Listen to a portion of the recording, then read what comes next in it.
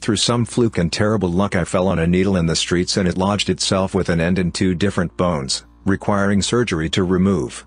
It was considered an emergency surgery and you can imagine the possible health hazards involved with this situation. The problem was that there was no anesthesiologist available, so they opened me up awake and conscious whilst cutting into my hand.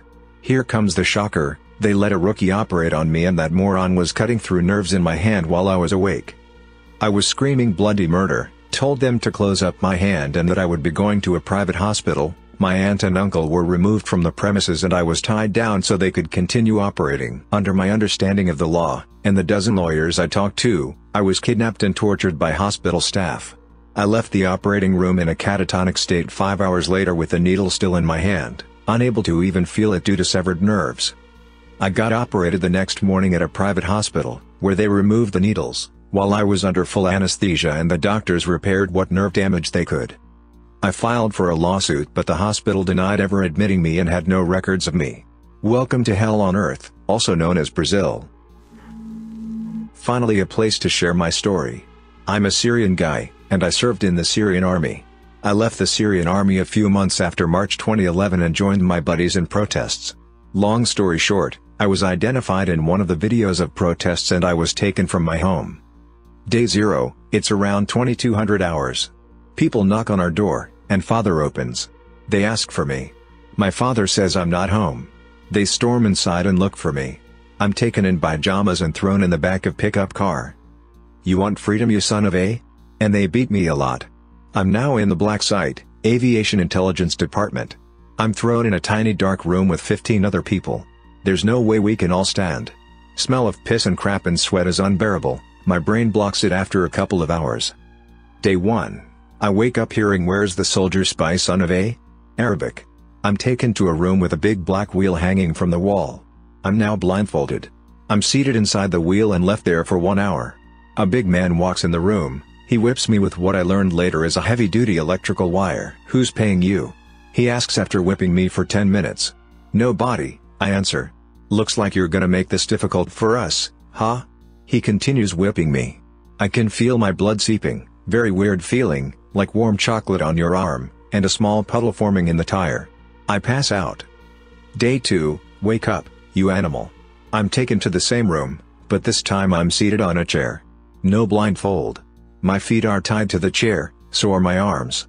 The same guy walks in and starts hitting me on the shins with a thick stick. The pain is horrible. He did that for 5 minutes. Then he punched me in the face a few times. I lost two teeth. Who's paying you, you, something that would take a few paragraphs to explain. I answer I swear nobody is paying me. Please let me go. He starts punching me in the chest, kidney, face, and kicking on the shin and stepping on my toes. One more punch to my face and I pass out. I wake up when two men are carrying me back to my cell. Day 3, I wake up in my cell, a 1 by 0.5 meter cell. There's no way to lay down. The door opens, I'm taken to a different room. Today we'll execute you. Tell us what you know so you can go in peace, I was told. I can see nothing with my left eye and can barely see anything with my right one. I'm taken to a different room. I'm hanged from my hands to the ceiling about 20 centimeters above the ground. I'm now being whipped with what I thought was the same cable. By this time, my wounds started to have a very sharp pain, and it was difficult for me to concentrate on the new pain. I'm hungry, thirsty, and can barely stay awake even though I'm being whipped. I pass out. Day 4, I started forgetting which day it is. My brain can't work correctly. Same thing. Whipping, punching, every day. Now they want to know who are my buddies, whether we have guns or not, etc. Like all the days, the torture ends when I pass out. Day 21, I tried hitting my head on the wall to kill myself, I can't. I tried to strangle myself, I passed out before I died. I want to make the screaming stop. So many people screaming. I don't care about myself now, I just want that woman to stop screaming. They're hurting her. Later I learned that they raped her and killed her in front of her husband. They killed him as well. Day 34 they realized that I genuinely have no information for them or for some other reason, I have no clue. They made me sign a paper thanking the president and saying that I was treated very well. I was driven and left somewhere outside my city. A car stopped for me and the guy drove me home. I knocked on the door, my mother opens and starts crying. I stayed in the hospital three weeks after that. I had multiple infections on my body. I nearly lost sight in my left eye because an infection from my own poop. My nose is still crooked till this day. I can't sleep in the dark, and I'll never ever trust anybody with anything in my life. One day I'll be avenged, I hope. I am female. My uncle was a pedophile with a sadistic streak, and he started molesting me when I was 5. The summer when I was 12, he interrupted me while I was taking a bubble bath in his jacuzzi tub and tortured me by dunking me over and over. When he first came in, I threatened to scream for my aunt, and he told me that she was gone to the grocery store and to please scream as loud as I wanted. I expected him to rape me immediately, but first he washed and conditioned my hair and combed it out. Then he grabbed me by the hair and held me face down in the water that was about 2 degrees short of scalding. My vision started to go black, but I managed to get my foot hooked around the tap. When I flipped myself over, though, I also turned on the hot water. He hit my head against the marble and dunked me again until I started to pass out. He pulled me out, let me take a deep breath, and then dunked me again and again. There is nothing worse than being drowned. I thought I was going to die. I must have stopped breathing completely at some point because when I woke up he was giving me CPR. I coughed up what felt like a gallon of soapy water and then he raped me. My uncle is alive and well. I haven't seen him in 11 years. I pushed it all to the back of my mind for the longest time. I pressed charges when I was 16, and the whole process was hell. I asked to be allowed to testify by a video feed, but the prosecutor refused, saying that that was normally only done for children, and insisted that it would do me good to face him. They made me feel like I was weak, when really I was just aware of what I could and couldn't handle. I had terrible PTSD, crippling depression, and anxiety attacks, and all evidence was long gone. Plus I was a wild child as a teen and there were some inconsistencies in my story, especially the parts that happened when I was very young. I knew the defense was going to rake me over the coals, and I was extremely reluctant to put myself through that when I was finally starting to heal. I didn't want revenge, I just wanted it to be over. The trial was pushed back over and over and the district attorney's office kept reassigning the case to different prosecutors. The lawyer who ultimately closed the case was only assigned to it a week before jury selection, and the trial was scheduled to take place during finals week of my senior year of high school. When my mom called the DA's office the Friday before jury selection, we learned that just that morning he had pleaded no contest to injury to a child and got off with five years probation and a $500 fine. Apparently the new prosecutor had seen notes in the file indicating my reluctance to testify and decided to let him plea out without even calling us first. Since all he admitted to was giving me inappropriate massages, he doesn't have to register as a sex offender. Knowing that his free makes my blood boil, but I don't regret sparing myself from what I know would have been a humiliating, miserable trial. Went to jail after a fistfight during a road trip with my traveling companion. Police shackled my ankles through the cell bars at the foot of the bench, shackled my hands together and took a weightlifting belt that they looped between the handcuffs and a bar a couple feet beyond the other end of the bench. They tightened the belt as much as they could so I was stretched enough that most of my weight was suspended between the bars. They latched the belt and left me hanging for 8 hours. I screamed the whole time, my hands turned purple, then a dark blue. When they released the tension the capillaries in my hands had burst, and I couldn't lower my hands below my heart level without severe pain for days. Both of my rotator cuffs were torn. Charges were dropped. I made an account for this story and it's not one I usually share. I had the fortune of being born in the impoverished former Soviet Republic of Ukraine. When I was 5 in 1997 my tonsils swelled up and I had severe trouble breathing, and my mother took me to the hospital to have my tonsils removed. I was 5 so I didn't understand so I was relatively calm. This is 90s Ukraine, the equivalent of Great Depression America but worse. While hospitals often had trained and professional doctors certain medical supplies were a rarity including anesthesia, I was taken to a room tied down my mouth pried open and my tonsils were removed. I don't remember how long it lasted, maybe 5 to 10 minutes but at the end I remember I was covered in blood. The experience left me with a massive phobia of dentists, every time I go to the dentist I'm on Valium and even then I'm shaking and sweating uncontrollably. It's not something I usually share because in America this kind of stuff only happens in Eli Roth films. While I remember some specific painful details you'll have to forgive me because they are not easy to reimagine or write down.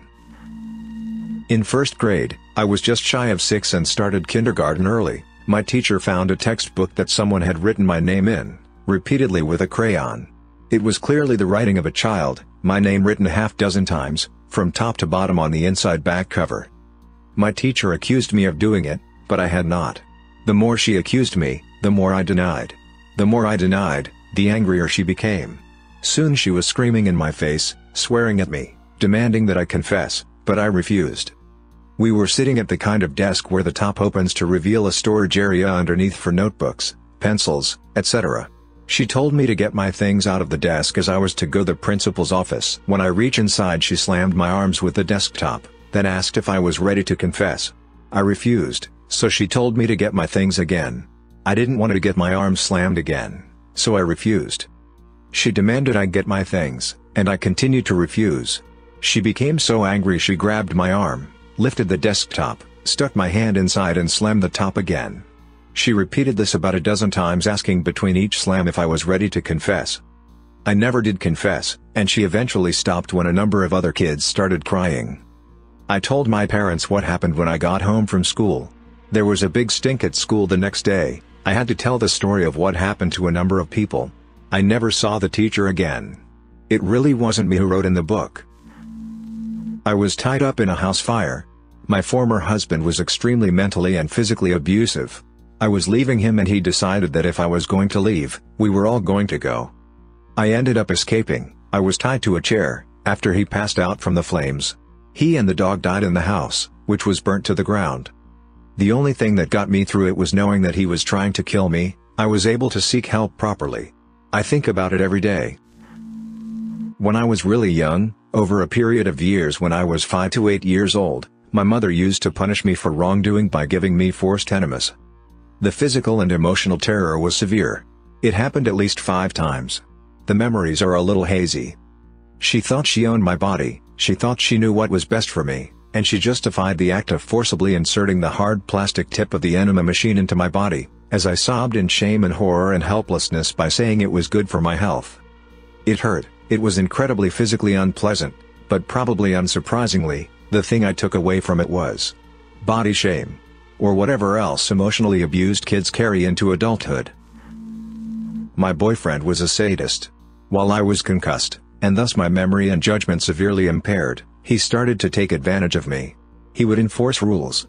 If I made a sound, I would be beaten or whipped 5 to 20 times at the end of the session, depending on his mood. He would keep track and it would usually culminate into a very severe beating at the end. He liked to electrically shock me, especially on my groin. A few times, he would tie me up, blindfold, gag me, and then he would sell me to others. It would usually end with me begging him to just beat me instead of selling me. Honestly, the list of terrible things he did to me goes on and on. It lasted for six months. I finally got away by switching schools, though I was switching schools for a different reason on the outside. I managed to get through the rest of high school and into college. I was an emotional wreck. I'm a pretty blunt person in general, so I became rather frank about my experiences. A lot of friends stopped talking to me after I gave a speech about it at my high school. They said I talked about my past too much.